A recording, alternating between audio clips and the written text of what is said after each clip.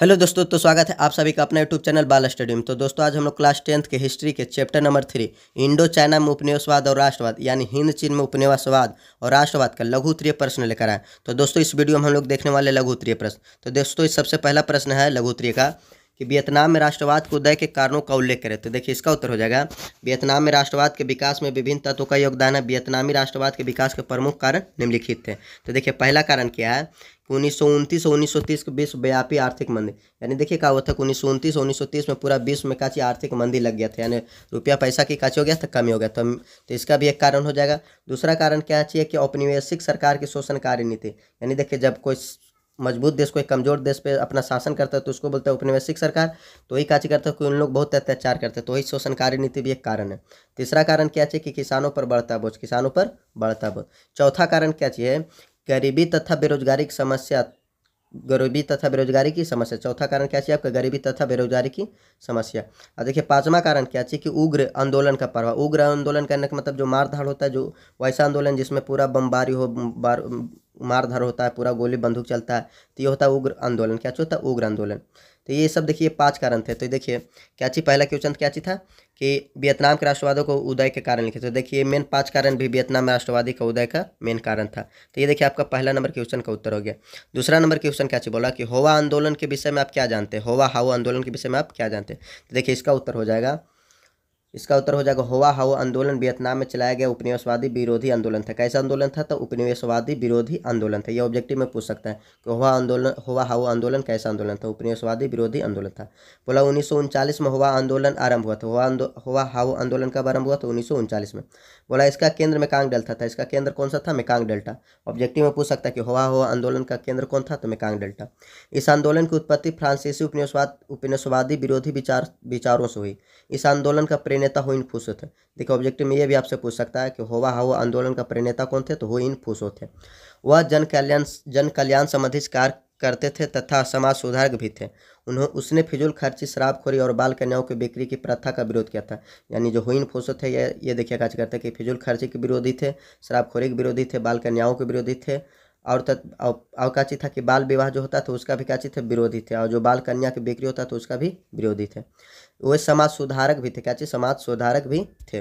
देखिए हुइन फूसों के बढ़ते प्रभाव को रोकने के लिए हुइन फूसों के बढ़ते प्रभाव को रोकने के लिए सरकार ने कठोर दंतमात्मक कार्रवाई कर को हवा हुआ आंदोलन को दबा दिया। यानी देखिए, लास्ट में क्या होता है कि हुआ आंदोलन का होता बंद हो जाता है। तो देखिए हो गया आपका तीसरा नंबर क्वेश्चन दूसरा नंबर क्वेश्चन को उत्तर। आप देखिए, तीसरा नंबर क्वेश्चन कैसे बोला कि फ्रांसीसियों ने मेकांग डेल्टा में नहर क्यों बनवाई, इसका क्या परिणाम हुआ? तो देखिए, इसका उत्तर हो जाएगा, फ्रांसीसियों ने कृषि के विस्तार के लिए, किसके विस्तार के लिए? कृषि के विस्तार के लिए मेकांग डेल्टा क्षेत्र में सिंचाई की सुविधा के लिए नहरें बनाए गए यानी मेकांग डेल्टा क्षेत्र में क्या चीज़, सिंचाई की सुविधा के लिए क्या किया कि नहरें बनवाए गए सिंचाई की समुचित व्यवस्था उपलब्ध होने से धान की खेती और उत्पादन आश्चर्य रूप से वृद्धि हुई।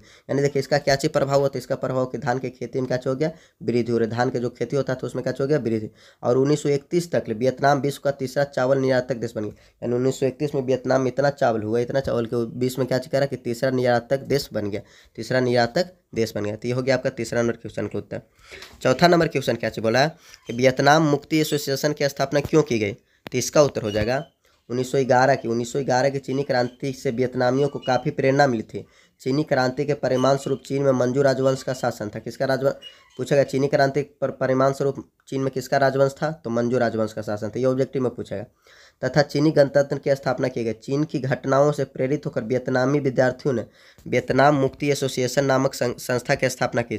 इस संगठन का मुख्य उद्देश्य मुख्य उद्देश्य यानी देखिए इस संस्था का मुख्य उद्देश्य क्या चीज़ था? तो राजशाही की पुनर्स्थापना करना। राजशाही की पुनर्स्थापना ना होकर लोकतांत्रिक गणराज की स्थापना के लिए प्रयास करना था। यानी इन, इन लोग का मुख्य उद्देश्य था कि राजतंत्र ना हो क्या होना चाहिए? लोकतंत्र का स्थापना होना चाहिए। तो ये हो गया आपका चौथा नंबर क्वेश्चन का उत्तर।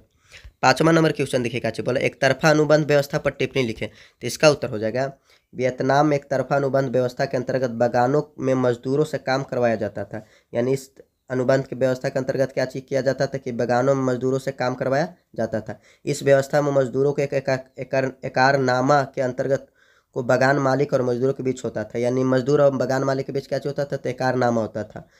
काम करना पड़ता था, एकनामा में मजदूर को कोई अधिकार नहीं दिया गया। एकनामा मजदूरों को कोई अधिकार नहीं दिया गया था। सारे अधिकार मालिकों के पास थे। सारे अधिकार किसके पास थे? मालिकों के पास थे। वस्तुतः बगान मजदूरों की स्थिति गुलामों के समान थी। यानी बगान में जो काम करता था मजदूर, उसका स्थिति कैसा था? गुलाम की था तो ये आपका पांचवा नंबर क्वेश्चन का उत्तर हो गया। छठा नंबर क्वेश्चन देखिए कैसे बोला, बायोदायो के विषय में आप क्या जानते थे? इसका उत्तर हो जाएगा बायोदाई वियतनाम के प्राचीन राजवंश का सम्राट था। बायोदाई जो था, क्या चीज़ था? वियतनाम के प्राचीन राजवंश का क्या चीज़ था? सम्राट था। जापानियों ने हिंद, चीन से वापस लौटते समय अन्नाम का शासन बायोदाय को सौंप दिया था। यानी जापानी जब हिंद, चीन से यानी वापस लौट रहे थे तो वो अपना शासन, अन्नाम का शासन किसको दे दिया था? बाओदाई को। अन्नाम का शासन, बाओदाई के। अन्नाम पे शासन था जापान का। किसका था? जापान का। तो वही जाते वक्त किसको? बाओदाई को दे दिए लेकिन बाओदाई साम्यवादी का सामना करने में सक्षम नहीं था। इसलिए उसे अन्नाम के सम्राट का पद त्याग दिया। वो अन्नाम के सम्राट का पद क्या कर दिया? त्याग दिया। वियतनाम वियतनाम के आज़ादी के बाद फ्रांसीसी बाओदाई को अपने प्रभाव में लेकर, यानी वियतनाम देखिए जब आज़ाद हो गया तो काची किया कि फ्रांस उसको अपने साथ मिला लिया। बायदाओ के फ्रांसी काची किया, अपने साथ मिला लिया। और मिला के काची किया कि अप्रत्यक्ष रूप से वियतनाम पर शासन करते रहा। कौन करते रहा? तो फ्रांस। तो हो गया आपका छठा नंबर क्वेश्चन का उत्तर। सातवां नंबर क्वेश्चन क्या चाहिए बोला कि वियतनाम का विभाजन क्यों और कैसे हुआ? तो इसका उत्तर हो जाएगा। वियतनाम और फ्रांस के युद्ध में फ्रांसीसियों की बुरी तरह पराजय हुई अमेरिका ने हिंद चीन में, अमेरिका ने हिंद चीन में हस्तक्षेप करने का निश्चय किया, जिससे स्थिति विस्फोट हो गई और तृतीय विश्व युद्ध का खतरा उत्पन्न हो गया। ब्रिटेन फ्रांस युद्ध नहीं चाहते थे। और समझौता की नीति अपनाई। इसके लिए जिनेवा में अंतर्राष्ट्रीय सम्मेलन किया गया। यानी ब्रिटेन, फ्रांस और जो रूस थे, ये सभी युद्ध नहीं चाहते थे। ये काची करने सोच रहे थे, समझौता की नीति अपनाए। इसके लिए जिनेवा में अंतर्राष्ट्रीय सम्मेलन आयोजित किया गया। यानी उन्नीस सौ चौवन में कहा हुआ कि जिनेवा समझौता हुआ, जिसके द्वारा कहा हुआ कि इंडो, चाइना के लाओस और कम्बोडिया स्वतंत्र कर दिए यानी उन्नीस सौ चौवन में जिनेवा समझौता के तहत लाओस और कम्बोडिया को स्वतंत्र घोषित कर दिया गया। तो ये आपको ऑब्जेक्टिव में पूछेगा कि कौन से समझौता के तहत और कब लाओस और कम्बोडिया स्वतंत्र राज्य बना। तो उन्नीस सौ चौवन के जिनेवा समझौता के तहत यह हो जाएगा आपका उत्तर।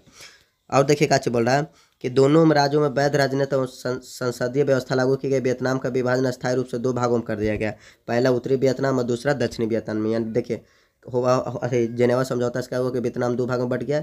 उत्तरी वियतनाम और दूसरा दक्षिणी वियतनाम। दोनों राज्यों की विभाजन रेखा सत्तरवीं समांतर बनाई। यानी दोनों दोनों जो राज्य हैं, उसके बीच में एक सत्तरवीं समांतर रेखा खींचेगा उसके दोनों का चौक एक दोनों में एक दक्षिणी वियतनाम हो गया, एक उत्तरी वियतनाम बनाई गई। उत्तरी वियतनाम में हो ची मिन की कम्युनिस्ट सरकार की मान्यता दी गई, जबकि दक्षिणी वियतनाम में बाओदाई की सरकार बनी रही। यानी उत्तरी वियतनाम में देखिए किसका शासन है तो हो ची मिन का, और दक्षिणी वियतनाम में बाओदाई की सरकार थी। तो ये हो गया आपका देखिए सातवां नंबर क्वेश्चन का उत्तर। देखिए आठवां नंबर क्वेश्चन क्या चीज़ बोल रहा है कि जेनेवा समझौता क्यों हुआ? तो इसका उत्तर हो जाएगा। वियतनाम में शांति स्थापित करने तो जेनेवा अंतर्राष्ट्रीय सम्मेलन आयोजित किया गया। अमेरिका के द्वारा हिंद चीन में हस्तक्षेप तथा तृतीय विश्व युद्ध के खतरा को टालने के लिए उन्नीस में जनेवा समझौता हुआ। यानी देखिए तीसरे तृतीय विश्व युद्ध हो, हो रहा था ना उसको टालने के लिए कहा किया उन्नीस सौ चौवन में जेनेवा विश्व युद्ध हुआ जिसमें जेनेवा का समझौता हुआ। उन्नीस सौ चौवन में जेनेवा का समझौता हुआ जिससे कहा चुका कि तीसरे विश्व युद्ध का खतरा टल गया। तो आपको हो गया नॉर्मल नंबर क्वेश्चन का उत्तर।